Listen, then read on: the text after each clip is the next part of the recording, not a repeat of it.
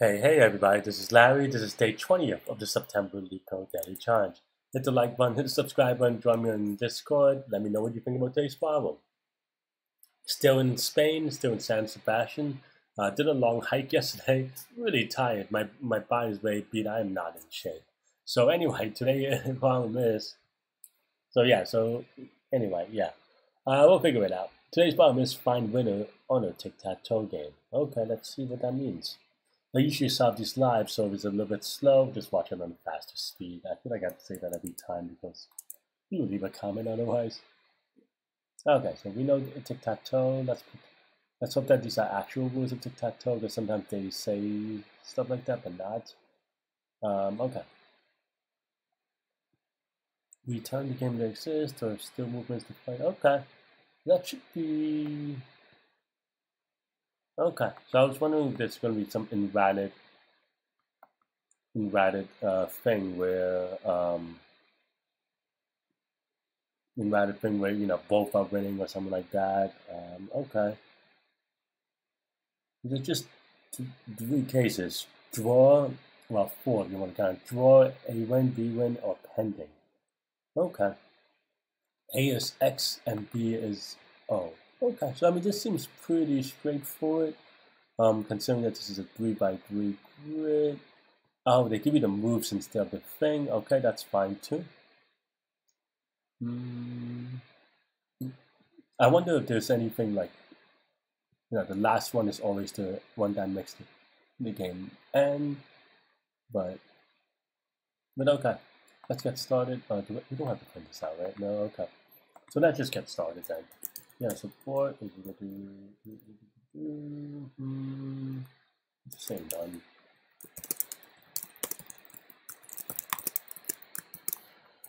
And then now just for xy and moves, maybe I have to do enumerate as well to get the turn number. The turn number will determine who plays. Um, okay, so board of xy is equal to turn mod 2 just to get the the player that has it. Um, okay, and then here now we check whether this turn wins. So we just have to check. Mm, how do I want to check this? Yeah. Oh, excuse me. Oh, man. Sorry, I just woke up. Usually I'm a little bit more alert than this. But, uh, but I walked 10 miles yesterday. More than 10 miles, maybe. I don't even remember. Something, but at least 10 miles yesterday. So, um, so I'm a little bit beat. Okay. And if you want to see that story, follow me on Instagram and watch the story because I actually post a lot about it, which is maybe not super great, but okay. Mm, let's see. Um, I'm just trying to think about how, how I want to do it. So there are two ways you can do, think about it. One is that that for this space, you just check the adjacent things, right? And of course, that means that you're the corner. What I mean is just like you just check the row, column, and the diagonal that this thing is in, or maybe two diagonals. Um, and you could do that for sure. And then the other way to do it is just check the entire board which is slightly more expensive, but not really, right? There's only eight di or eight um, places to check, which is three rows, three columns, and then two diagonals. So it's only like at most, you know, two, two, three times more work. Um, and then that question means, um, do we check? Oh, oh sorry. Um, so then the question is whether you know the game ends, right? Uh, or yeah, well, sorry, let me rephrase that. So then, and the question is because it doesn't really matter either way. Then which what is easier to implement, right? So yeah, so that's basically the idea. Um, yeah. And actually, because all the moves are valid, I think we don't even have to check this one at a time. Usually you do or whatever. You can actually just check it all at the very end because because yeah, so then maybe what I said doesn't even matter because you can just check it once at the very end because all the roofs are valid, right? So okay, so let, let's check then. Um, if good, of let's put in a function. If this is good, then we return uh, um, yeah. So if it's good, that means the game ended. And the game ended, then it, the answer is A. If um, length of moves mod 2 is equal to 0. Right, is that true? No, it's equal to 1 because that means that, yeah, okay, so it's equal to 1. Um, I mean, this is way dubious syntax, but that's besides the point. That's just Python, I think.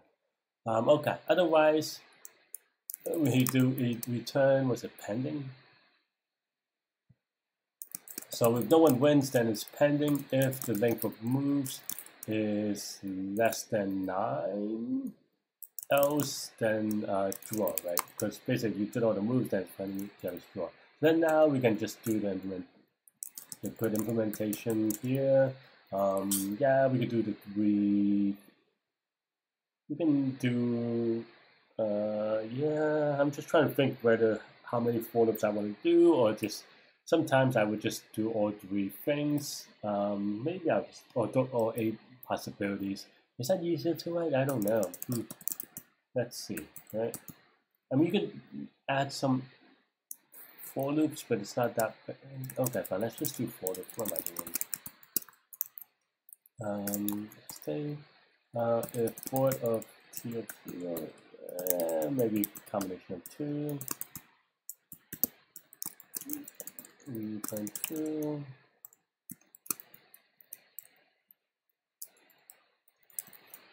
I'm not sure that this is any faster. But yeah.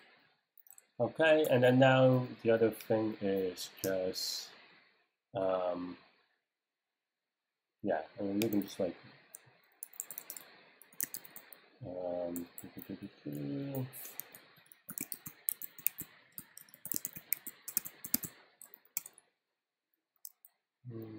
not actually sure about order of operations, I'm going to do this.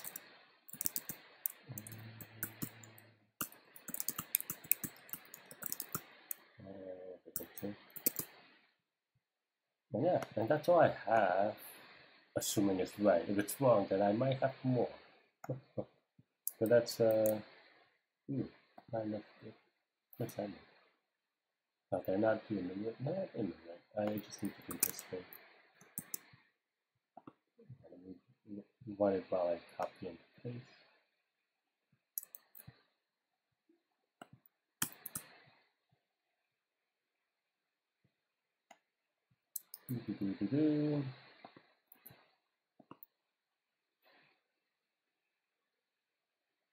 Okay, so this looks good except for this one. Hmm. Oh, hmm. Okay.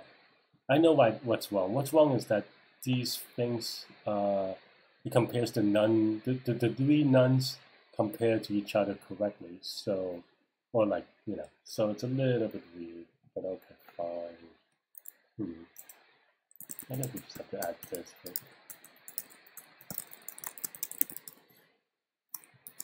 It's a little bit awkward. But, hmm.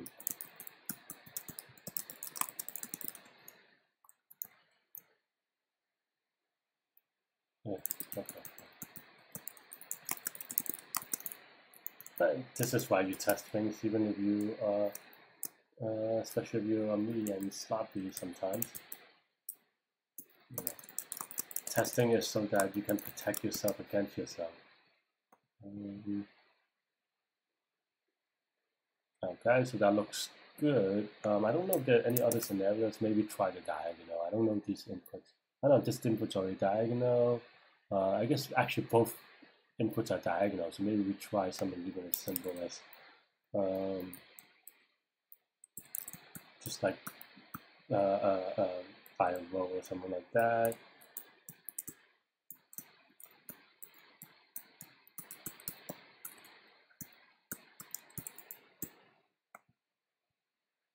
Hmm.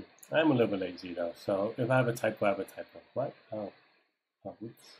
And then that two, obviously, maybe. But yeah, I mean, I'm, I'm uh, Not that worried. I mean, if I have a typo, I have a typo. But logically, I think okay. Yeah, cool. Um, yeah, I mean, I think this one is just a problem of breaking it down into easier and easier pieces, and then it becomes a strategy of thinking about how you want to implement it. Um, yeah, because the thing that I probably overthink a little bit sometimes, to be honest, is just about the ease of implementation um, and how to make myself least likely to make a mistake, uh, which sometimes leads to the decisions, but but we'll see. okay, that's all I have for this one. Stay good, stay healthy, to good mental health. I'll see you later. Bye bye.